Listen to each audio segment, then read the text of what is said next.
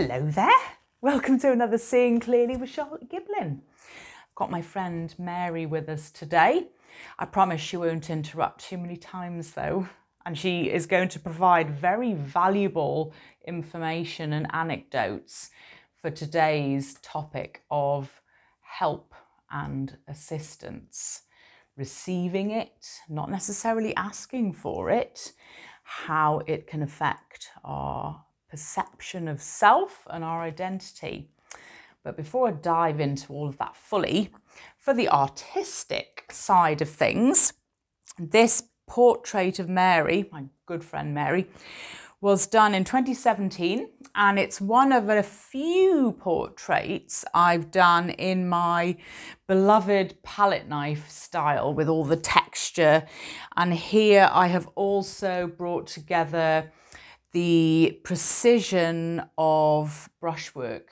So, working with the two different styles, two different techniques, and absolutely love the way that you can get this sense of the layering of time through the skin, as well as the, the real detailed precision with, with the brushwork, especially around the rings. And this painting was accepted into the 2018 New Zealand Portrait Awards, the Adam Portraiture Awards in Wellington, which was splendid. Second time in a row that I'd got in. Um, for anybody interested in my statistics, that 2018, that was the last time I was accepted into a juried art competition or exhibition, and not for want of trying either across a huge range of exhibitions and competitions. No, no, no, not bitter at all. It's incredibly character building, being rejected time after time after time. And that is not what this video is about. But she sits here in all of her painted glory as a reminder of those heady days of when I was still acceptable in the fine art world. Oops. Well, yes, difficult times for artists, those challenges. Anyway, that's not the point. I'm so over it, clearly. so, my friend Mary, this was painted six months after she had a stroke. She was in hospital having another procedure. So, I suppose the best place she could have been and and had a, stroke, which was obviously life changing and very traumatic for her family. The pictures were taken, the reference photographs and the drawings I did. I wanted to try six months after the stroke, as I said, and I wanted to try and capture her at a point where she was in recovery. But even then, a remarkable lady in her, I think she would have been a mid 60s when she had the stroke. Still, as you can see from the, the finished painting, just how you know she wanted her hair to be just so. She was always impeccable with, with her pearls, always really, really well done up, well presented. But she can see, and her husband can see as well, in the expression in her eyes, a slight hesitancy and a lack of confidence. Well, six months previously, she'd had a stroke. but the fact that she was even able to pose for these photographs is quite remarkable. And her story of recovery, now she is pretty much fully recovered.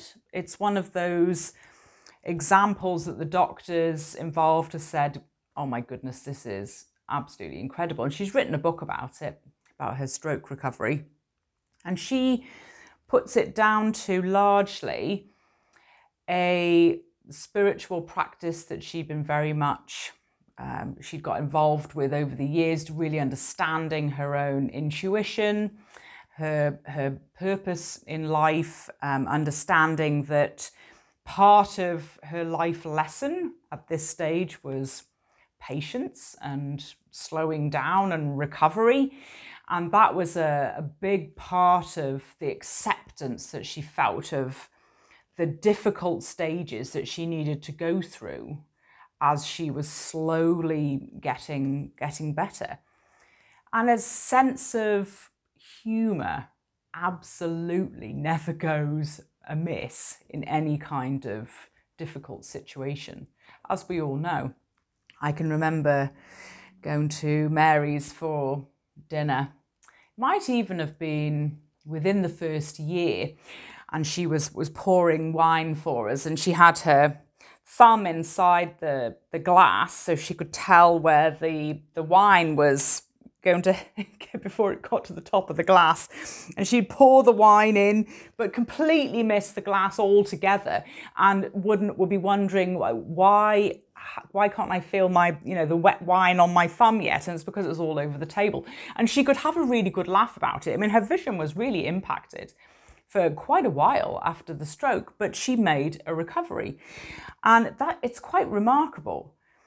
But at the time, Mary had spent a lifetime of being the matriarch, the successful matriarch of a family.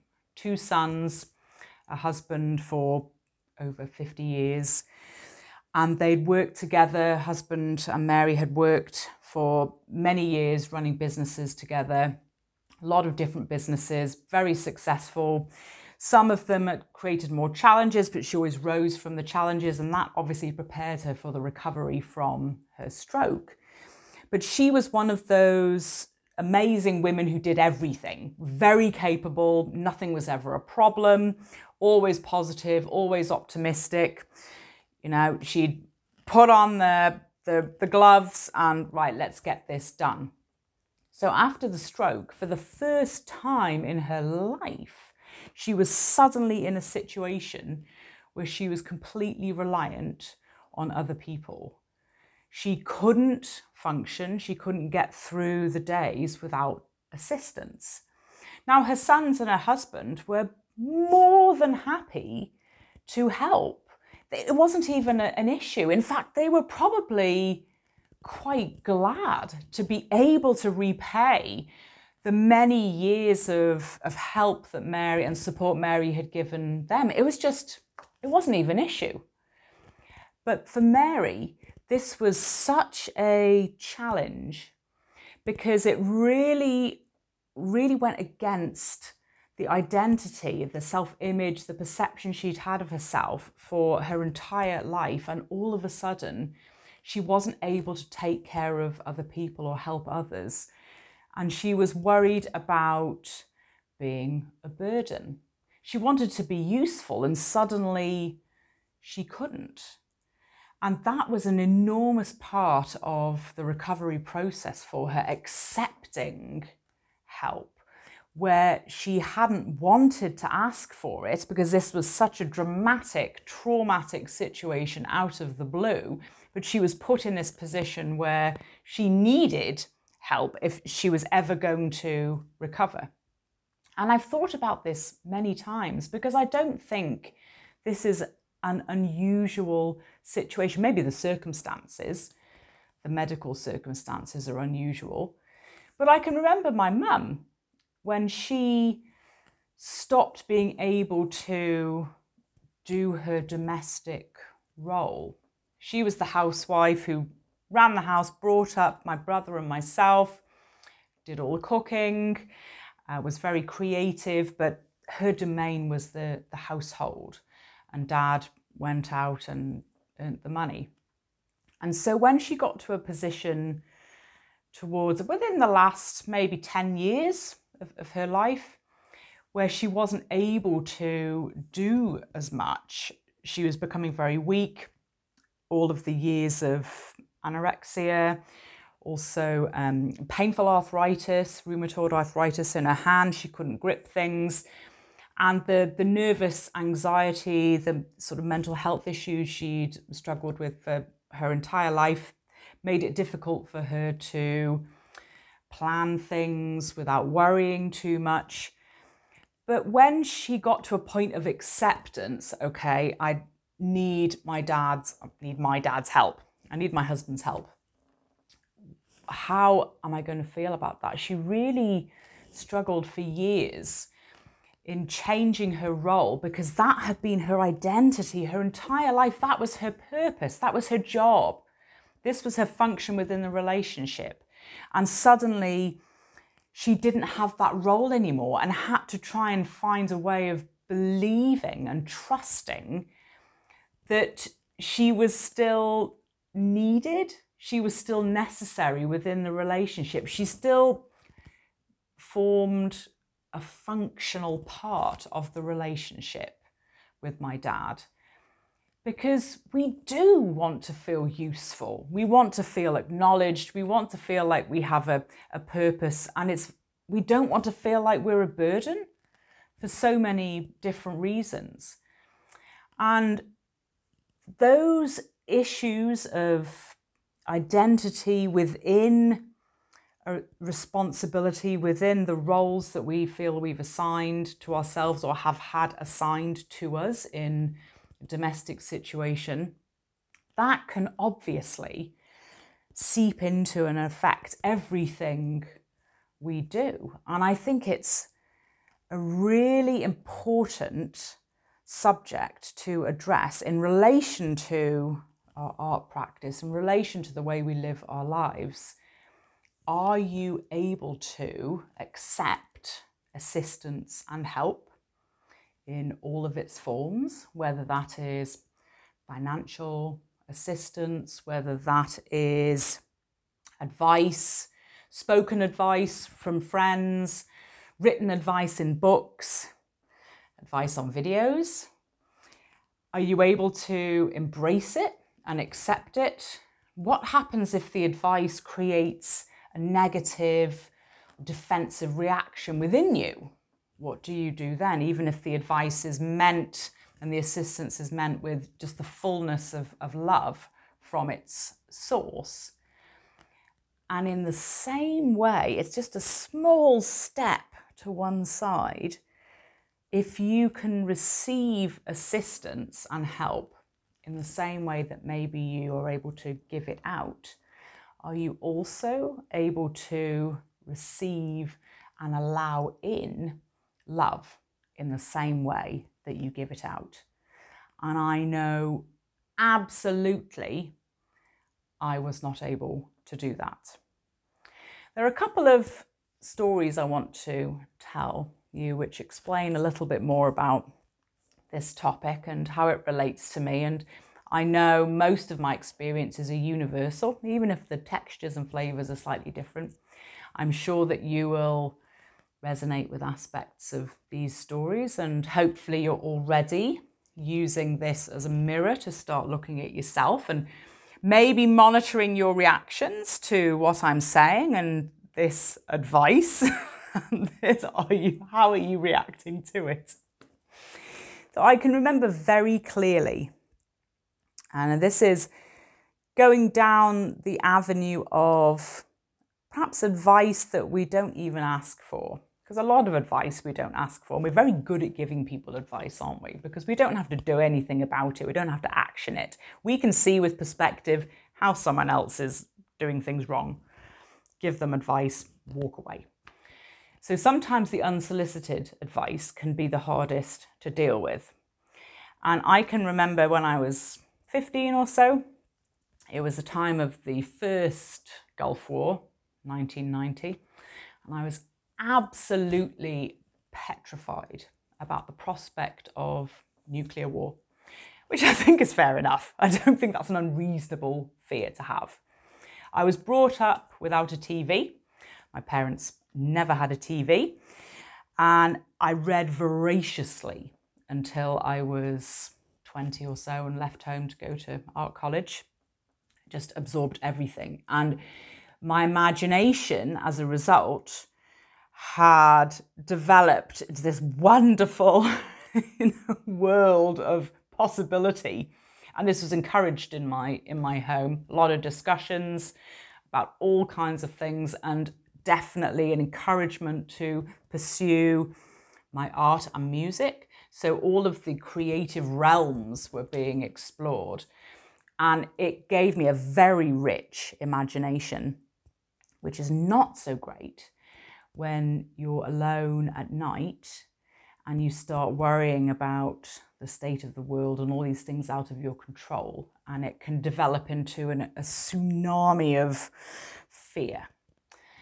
And I've written about this a bit. I developed some very helpful strategies as a teen to help quell my nerves and calm calm all of those fears so I could actually function. But I can remember saying to my parents at Christmas that year, tearfully, did they think we were actually going to have another Christmas together? I was so convinced of the potential for global obliteration. I was really concerned about that. And my parents reassured me. They thought, no, let's uh, think more highly of the human race.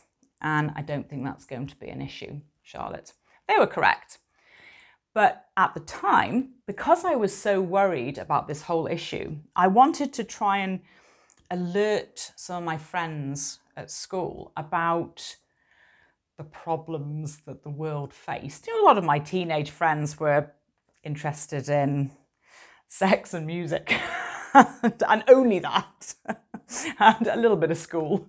And, you know, global issues had not particularly entered their, their radar. But the way I was brought up and discussing world affairs and, and reading the newspaper, it was something that was discussed around the dinner table. So I felt I had a duty and a responsibility to alert some of my friends to what was going on, but in a really positive way to say, look, these are the problems, but these are all things we can do about it. Look, we can join these protest groups. We can, you know, I was I was listing all the different things we could do with a come on, let's all join together and we can change the world. And I was getting a bit of a muted response. And so I told my mum about this and she said, hmm, Charlotte, no. You will never change anybody's mind. You're simply not important enough. Now, you might have sucked through your teeth then. Ooh, that's quite a harsh thing for a mother to say to a 15 year old.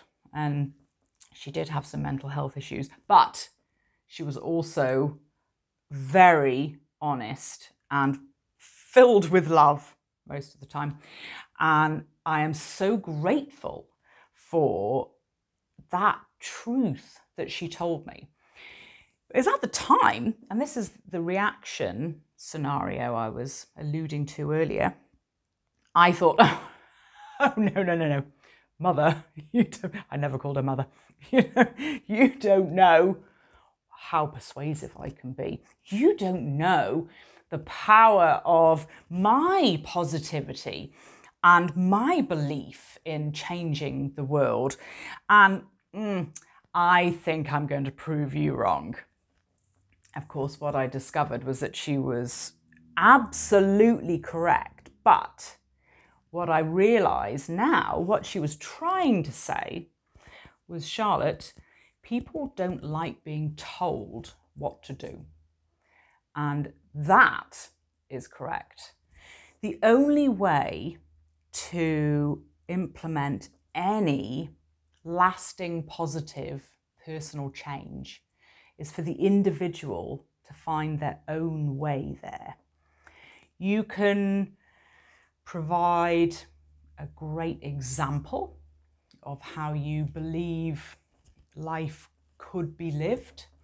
You can suggest options, but nobody can create lasting change if they've been forced into it or feel that they have been coerced into making that change. And I'm talking, I'm not talking about specific alternative examples where people have been taken into cults or I'm talking en masse.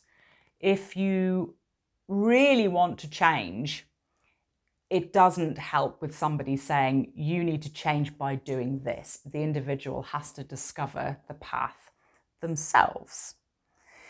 And although at the time that was really difficult advice to take on board, I understood years later, decades later, just how powerful that assistance has been because it came from a place of love, but I didn't want to be told that I was wrong or the efforts that I was putting towards making the world a better place were all in vain. So, why do we resist being told what to do? Is it because it reminds us of authority and we have an instinct to rebel? But what about all the people who don't want to rebel against authority? Does it feel restrictive? Like all options are being cancelled? Or is it that we're actually, we react against being told what to do because we might be frustrated with ourselves that we hadn't thought of that and that's actually that is the correct avenue for us. But we don't want to our ego says no no no no um, you should have thought of that yourself. So don't take their advice but we'll find another way around to exactly the same thing. That is such an interesting concept. The the notion of rejecting very helpful advice because of our ego. I have countless examples of that. And there's one in particular that springs to mind that I want to discuss because it was relatively recently. I'm going to say within the last five years. I was reading excellent book, Big Magic by Elizabeth Gilbert. I'm sure you've heard of it. If you haven't, it's a fantastic, very famous book about the creative process. And she has some really interesting ideas about creativity and tells the story with great pathos and humour. It's a wonderful book. But there were a couple of parts in it which really irritated me.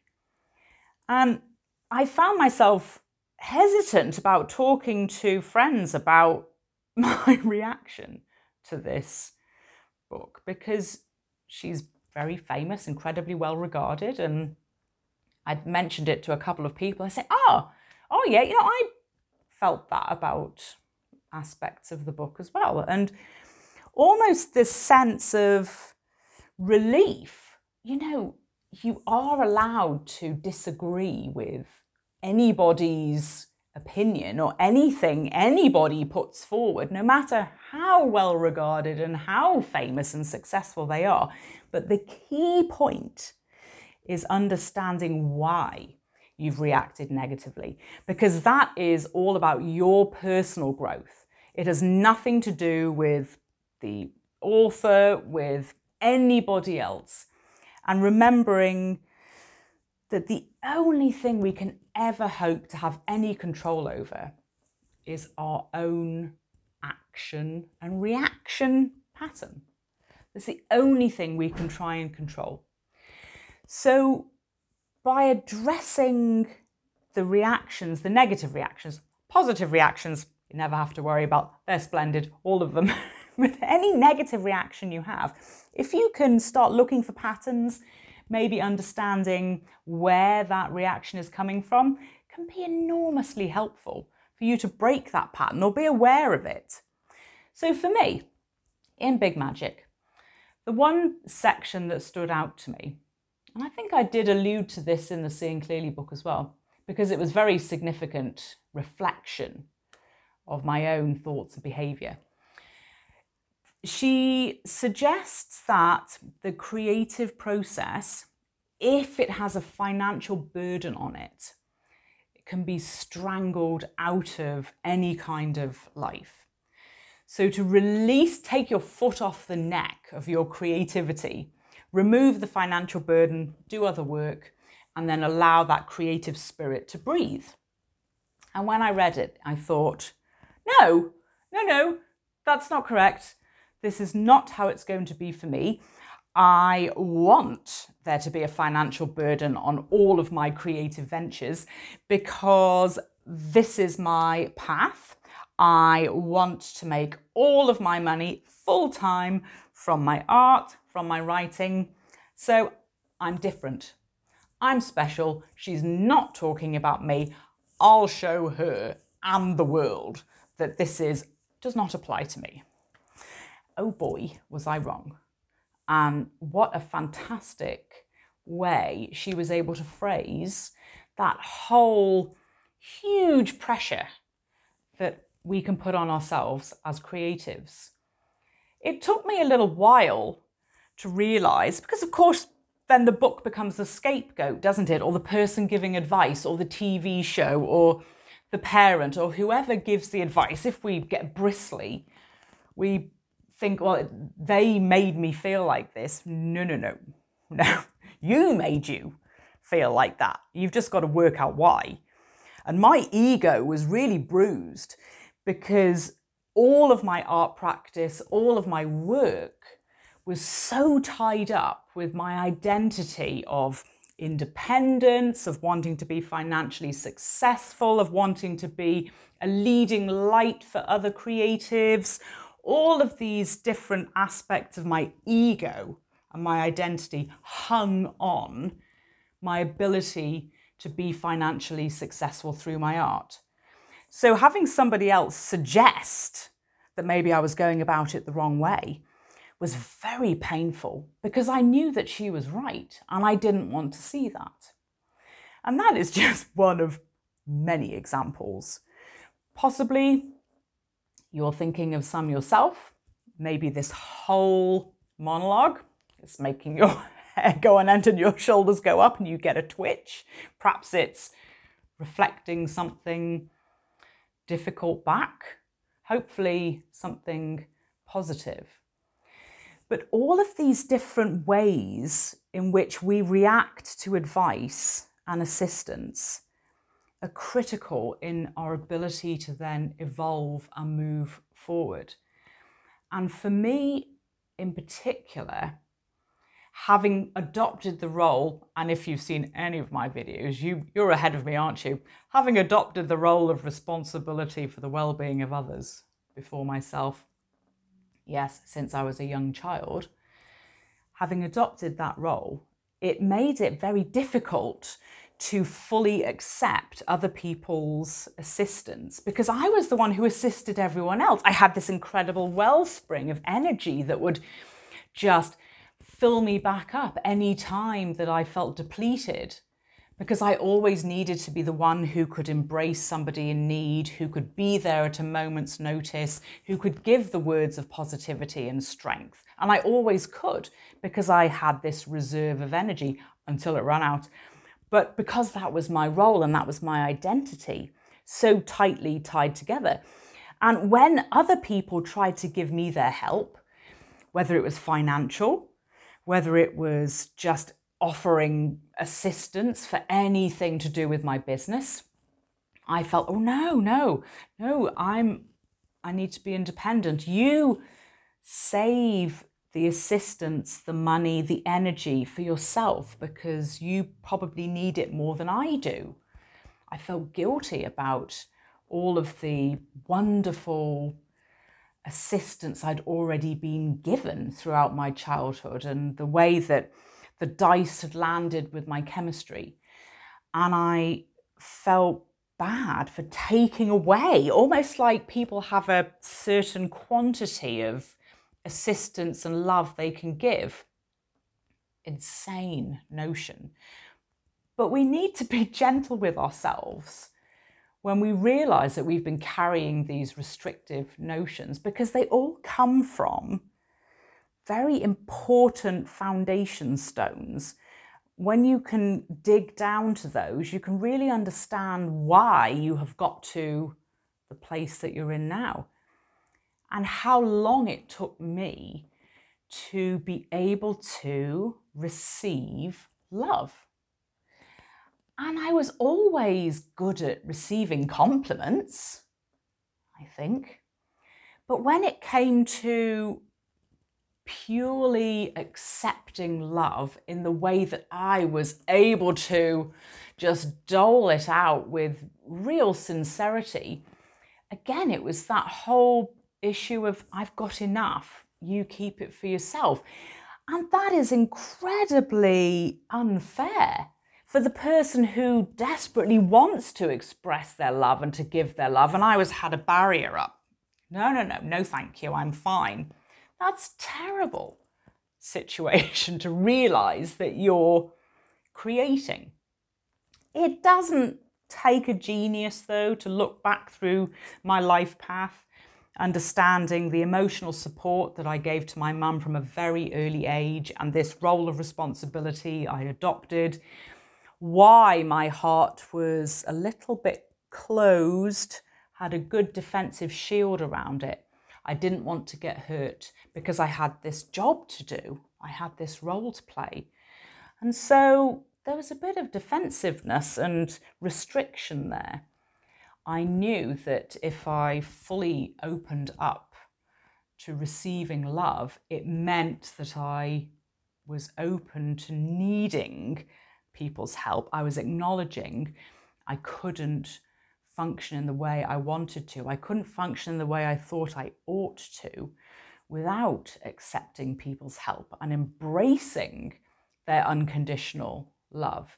It also meant, crucially, I was making myself very vulnerable to any kind of hurt, to the sort of pain and potential loss and grief that comes with love. All of that felt very frightening. Much easier to close it off, have a nice shield around you, just crack on. But what a half life. And there was a very significant point where I realized that I had fully opened myself up to receiving love. And I've spoken about the changes in my relationship with Pete many times before, but the significant year of 2018 when we were in New Plymouth here in New Zealand. And Pete was finally able to step away from the burden of his very difficult job in hospitality as a chef. And I was able to relinquish some of the domestic roles that I'd started to find quite burdensome, but felt it was my duty, my responsibility to still do them. I think there's often a partner who does an awful, the lion's share, let's say. And I was that one uh, in my mind. I'd taken on too much. And finally, well, our roles changed. And it's what I'd always hoped for, but never really dreamed it'd be possible. Because suddenly, Pete was able to take over all the cooking, all the cleaning. Oh my goodness. And although sometimes one has to adjust one's standards to accept love and to accept assistance. Delegation, you have to step back sometimes from the delegating and realizing how much it's helping and that there's some other compromises you can make. Yeah. anyway, I was having my meals cooked for me. They were being presented on a plate every evening. This was the most fantastic show of love and gift of love, which I was absolutely fully able to embrace and say thank you for. And to the point that when I go away on my own with work or, yeah, but always with work, I have to be really careful about the amount of love I will allow myself to give me. Myself to give myself, myself to give me, me to give myself. You know what I'm trying to say. And food has always been, because food was my mum's language as well, and food is Pete's language. For some reason, I've struggled with that a little bit. And after a couple of days of maybe having peanut butter on toast and raw broccoli, and then I finally think, okay, I'm going to have to get a saucepan out and, and cook something. And there was this one brilliant incident. I say that with heavy irony. A uh, few, few years back, and it was one of those situations. Uh, and I thought, I am going to be incredibly healthy. I've learned from my mum, who brought us up eating incredibly nutritious meals, partly because of her obsession with food. But I'm grateful for the uh, nutrition, nutritional knowledge that I gained. So I had my steamed vegetables and a few potatoes and some form of protein. And and I was just getting, but you know, there was I didn't even put any seasoning on. You know, there was nothing joyful happening on the plate at all. And then I'd reheated the kale and it lost all its green and it was there on the plate. all like limp and discoloured. And I was like picking up the kale. this is rubbish. And Pete phoned, Hi, how's your day? And I just burst into tears. And he like, What is going on? like the kale. and because I hadn't yet, and this was recently, hadn't yet got to the stage where I automatically would give myself, would allow myself to receive love in that form. I'd allowed that gift of love to be given to me by a number of other people throughout my entire life. But as soon as I was responsible for it, totally different rules. And that's crazy, isn't it? The way that we really often put ourselves last in line when it comes to self care, giving ourselves love, giving ourselves assistance and advice. And Pete had a really good laugh about the kale. and we still mention it. I haven't had it since. I mean, isn't that absolutely crazy? But that was a great indication for me that I still had a fair bit of work to do. And actually, from a physical point of view, I kind of need to make an effort there when I go away and maybe eat out or find somebody to eat with if I really couldn't be bothered to make something nutritious. I think after Kale Gate, uh, I think I did pay a bit more attention and the rest of that week it was all right and there were no more tears over the reheated vegetables.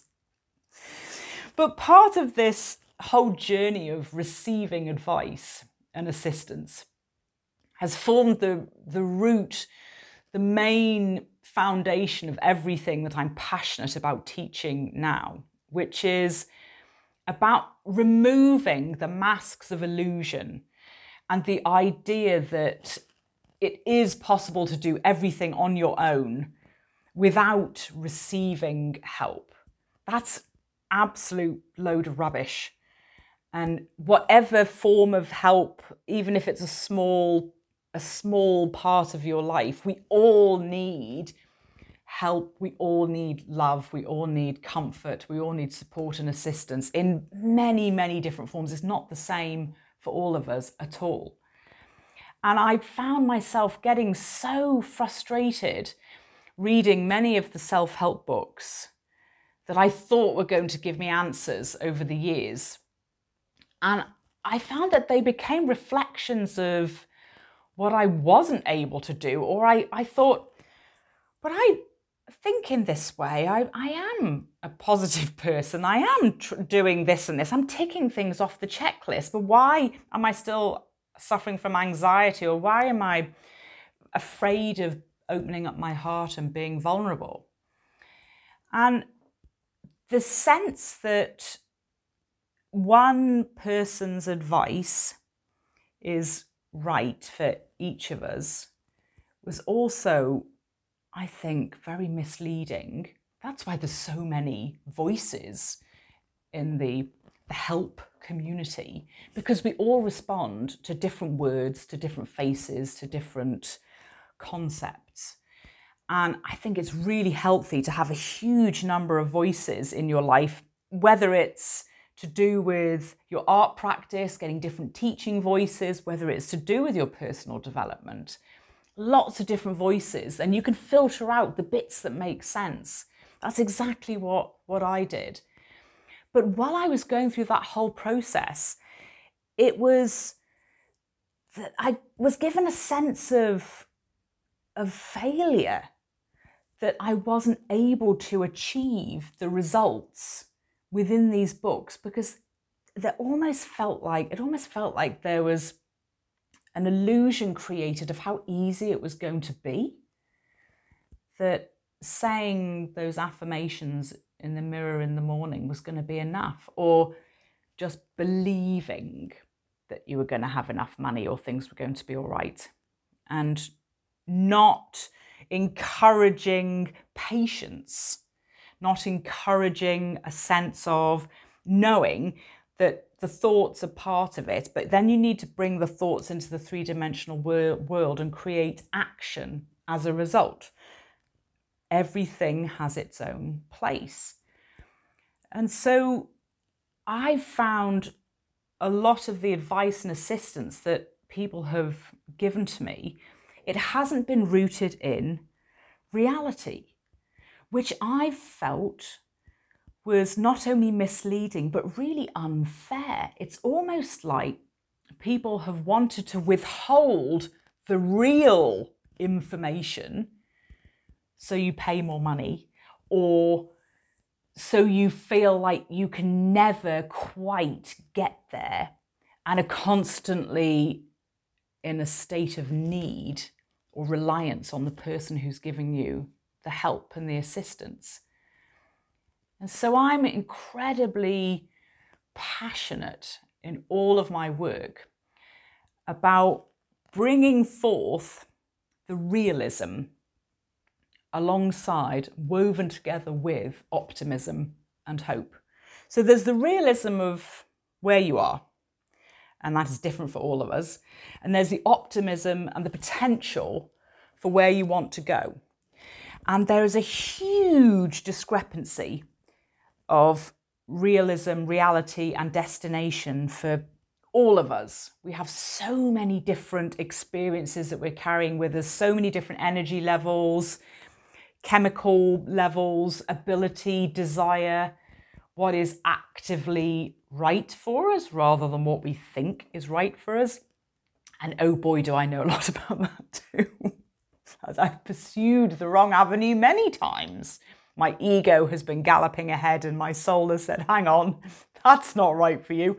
But I will let her go and trip over. She works well with trial and error. That's how she learns. That's the best advice we can give her. Let her fall flat on her face in the mud, pick herself up, tears and all, wash off the mud with salty tears, and then she'll get back up and realize, oh, okay, that wasn't the right path. But I feel that if you can and being aware of realism, your reality, where you are, what you're capable of right now. That is not a, a pessimistic or a negative situation at all. It's grounding. It's okay, this is me. And trying not to compare yourself to the version of yourself you want to be or the person who's next to you or the person you're looking at on Instagram and wishing that you could be where they are now, none of us can do that. We're all running our own race, not even running a race most of the time. But then the optimism and the hope of where you can go, knowing that with every person that you connect with who can assist you in a way that feels right, can assist you positively, if you can accept their their help and, and they accept your help, if there's this wonderful synergy of friendship, of relationships within families, that's really powerful and really positive. Because it can be very difficult going against advice that we were given as children, it's so challenging discovering that you feel differently to the people who brought you up, your parents or the people immediately around you in your environment, your friends. I know my mother was absolutely terrified of rejection, of her children's rejection of her ideas. And it would have been very easy to have rejected a lot of her ideas, but I recognized how important it was for her to feel that she had a use. And very often, the advice she gave, even though it could have been quite harsh, had just wonderful love and truth at the heart of it, even if it was coated with a few barbs. But that fear of rejection can trap us in cycles of ways of behaving, only adhering to one set of advice, one set of rules, because we can feel afraid of being kicked out of the tribe, left out in the cold, unsure of what our identity is going to be if we no longer fit in with the all of the ethics, the morals, the ideas, the concepts that surround the bubble that we are born into. Developing your own ideas, listening to so many different voices, picking and choosing the advice that feels right for you to accept, and always questioning the negative and defensive reactions and understanding where they come from. Those are the ways in which we can really grow and develop a sense of self and have this calm, lasting, positive change journey become possible. Yeah. And humour. humour is always helpful.